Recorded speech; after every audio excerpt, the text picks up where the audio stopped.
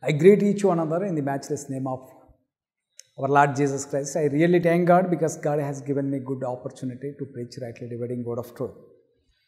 This is good time to listen word of truth. My topic is how to preach rightly dividing word of truth. Timothy's second book, which is written by Paul to Timothy, second book, chapter 2, verse 15. Study of show yourself approved unto God. Study of show yourself approved unto God. First, the man of God, he should be worthful candid. He should be walk in dark in, in the light. He should not do sin. He should not preach fables, doctrine. He, he has to know this sound doctrine unless if you don't know how to preach, if you don't, if he is not stay in sound doctrine, if he preach, he will he will perish not only his whom he was preaching, they will also die their sins. So first, man of God should be approved unto God. Approved means has to be worthful candid. He should not have sin. He should not walk in sin. He has, he has pure heart. He walks, he should walk practical life. He should love his neighbors. And also he should love God with pure heart. He should be approved unto God. First, he has good character. If you don't have good character, you cannot become a man of God. You cannot preach very well. If you want to preach rightly, rightly dividing word of truth, you should be approved unto God. Second, a workman that need not be ashamed. You should not be ashamed to preach the gospel. Because of when you preach the truth, when you preach the sound doctrine, many will come to blame you and scold you. And if you are if you have money or not, doesn't matter. But you should not be ashamed. Many are ashamed to hold the Bible. They have assistant and they, they, they bring, they take the Bible and they walk. Even they are very ashamed to hold the Bible. But Bible says a workman, a workman means a man of God need not be ashamed, rightly dividing word of truth. Man of God should not be ashamed to preach rightly dividing word of truth. Ephesians chapter 1 verse 13. In whom also you also trusted. After that you heard the word of truth, the gospel of your salvation in whom also after that you believed, you were sealed with the Holy Spirit of promise. Bible says, in whom also trusted after that you heard the word of truth.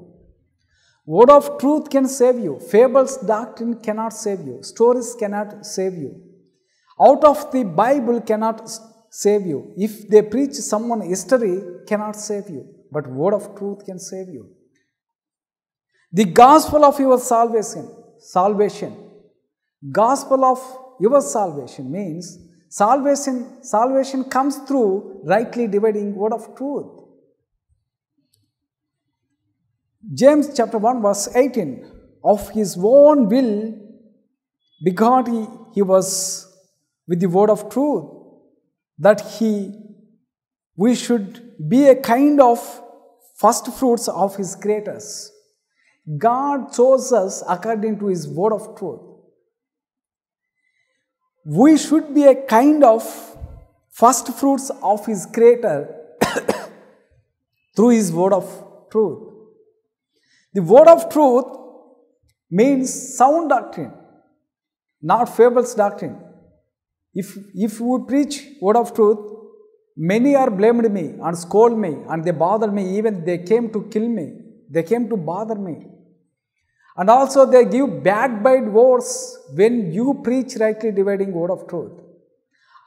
Because of apostles, they were they were scattered every day. They were they were bothered every day because of they proclaimed rightly dividing word of truth. When we preach, even Apostle Paul says, if you go to Corinthians, we have to preach rightly dividing word of truth, which was lent by me. Paul says to Timothy, don't preach another st- stories. And Paul committed the sound doctrine to Timothy to preach rightly dividing word of truth.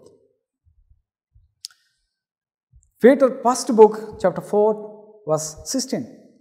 Yet if any man suffer as a Christian, let him not be ashamed. Bible says very clearly, that if any man suffer as a Christian, let him not be ashamed. If you are a Christian, you should not be ashamed. If you are a Christian, if you come from your generation, if you come from Gentiles, if you believe Jesus Christ, if you repentance, and if you be baptized, many will blame. Even your parents can blame you. But Bible says, let him not be ashamed. Jesus Christ said, if they don't believe me when I will come, I will be ashamed when I see that people, those who are unbelievers. If you don't believe Jesus Christ, if you are a Christian, if you are a true Christian, if you, if you are on sound doctrine, you should not be ashamed. Christian name written in the Bible three times.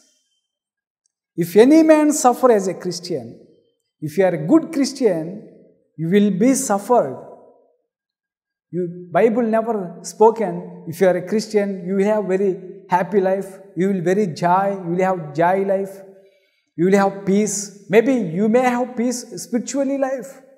Physically, you can have lot of suffering, lot of struggling, lot of bothering. People can bother you. If you are a good Christian, you cannot be very happy on the earth because of we see in the Bible apostles how they were bothered, how they were betrayed, how they were beaten by Jews. For that in the Bible also, if, if any man suffer as a Christian, let him not be ashamed. You should not be ashamed. Many are, they, they become Christian, they believe Jesus Christ, they are they were baptized, but they, they become backslide. They are very same to become a Christian, but Bible says should not be ashamed, but let him glorify God on this behalf. It's very really blessing to become a Christian. In many are in the world, if you are a Christian, they will blame you. This is very low caste. Christian means not low caste. This is high caste.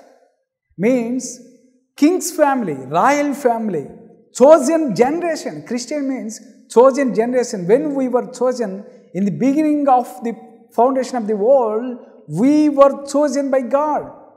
So, Christian means chosen generation. You are chosen. So, you should not be ashamed because you are a Christian. Romans chapter 1, verse 16 For I am not ashamed of the gospel of Christ, for it is the power of God unto salvation to everyone that believe, to the Jew first and to also to the Greek.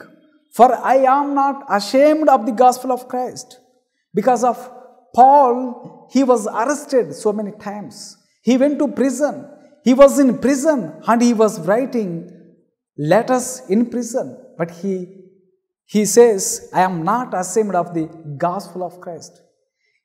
He did not ashamed to preach the gospel because of when he proclaimed the gospel, Apostle Paul was arrested and he was bothered, he was beaten by his own people and they put him in prison.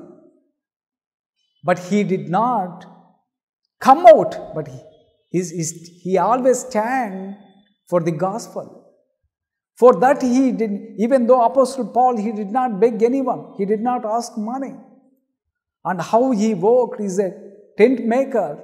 He works on getting money and he survived himself and he helped someone. But he said, I did not get freely from anyone. But Bible says very clearly, even though if we preach sound doctrine, many will blame.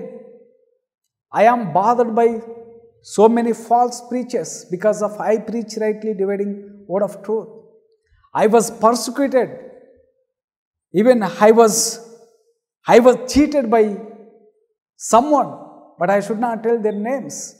How I was I was bothered because of even Jesus Christ, when, was, when he was on the earth with flesh, how he was bothered. But he did not open his mouth. They, they beat Jesus Christ, but he did not beat. But I, I don't want revenge, but God will revenge. But when we preach sound doctrine, they will come to beat you. Who is your enemies? Not Hindus, not Gentiles, Christian. When you preach sound doctrine, your enemies are Christian. When you preach the gospel, Gentiles will beat you. If you preach sound doctrine, Christian will come to beat you. If you preach the gospel, Gentiles will, will come to beat you. But for Paul says, For I am not ashamed of the gospel of Christ. So Paul, how many times he was arrested? How many times he was in prison? He wrote two books to Corinthians. He said in the first book, I was arrested, I was in prison. Again he wrote second book and he said, I was arrested, I was in prison. Again he wrote Galatians. He said and he exposed his suffering, how he was bothered, how he was arrested, how he was in prison. And he wrote many books he wrote in prison in the, in the book of Hebrew. When he was in prison, when he, he was going his breath, that last day he wrote that book in prison and he said, Timothy is going to release and I am going to leave the world. That last book he wrote in prison, but he, he said, I am not ashamed of the gospel of Christ. Everyone that believed to the Jew first and to also the Greek. You should not be ashamed to believe Jesus Christ. You should not be ashamed to follow Jesus Christ. You should not be ashamed to read the Bible. You should not be ashamed to worship the living God. But you should be ashamed because when you are walking in sin, you should be ashamed because you are in sin. When you are in sin, you, you don't be ashamed, but when you walk the practical, why should be ashamed? Should not be ashamed to walk practical life, to believe Jesus Christ, to confess your sins. Bible says very clearly, salvation everyone that believe that to the Jew first and also Greek. Second scripture, Timothy second book, chapter 1, verse 8. Be not you therefore ashamed of the testimony of our Lord, nor of me a prisoner, but you partaker of the application of the gospel according to the power of God. Paul says to Timothy, Be not you therefore ashamed of the testimony of our Lord. You should not be ashamed to give testimony of the Lord. Paul says to Timothy, wherever you go, because I am arrested because of, of gospel. I am not be ashamed of the gospel of Christ. You also should not be ashamed of the gospel of Christ. You should give testimony of our Lord Jesus Christ. Therefore, ashamed of the testimony of our Lord Jesus Christ. Nor of me is prisoner. He says, I am a prisoner. How he said prisoner? How he become a prisoner? Paul, because he was preaching the gospel, he was preaching sound doctrine. How he was persecuted by Jews. How, how many times he was arrested, how many times he went to prison. But he said, I am not ashamed of the gospel of Christ. So scripture says very clearly, a workman that need not be ashamed, rightly dividing word of truth. When you are in darkness, darkness, you should be ashamed. You should not be ashamed to preach the, the rightly dividing word of truth. Thank you so much for watching Rightly Dividing Word of Truth. May God richly bless you. Amen.